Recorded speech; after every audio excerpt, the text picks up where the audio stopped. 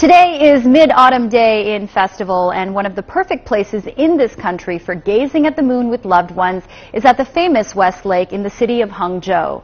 Celebrated Song Dynasty poet Su Dongpo described the city's alluring West Lake in his poem and even compared it to ancient China's most beautiful woman.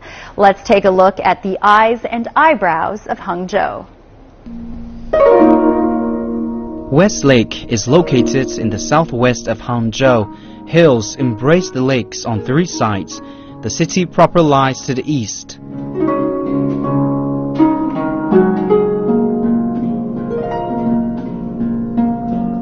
There are 10 best-known scenic spots on West Lake, collectively known as the 10 scenes of West Lake, including the curved yard and lotus pool in summer, moon over the peaceful lake in autumn, and remnants of snow on the broken bridge in winter. Formed during the Southern Song dynasty, they are distributed around and within the lake and served to show the charms of West Lake through varying locations, seasons, and times of day. Each scene is special, and when taken together, they present the essence of the beauty that is West Lake.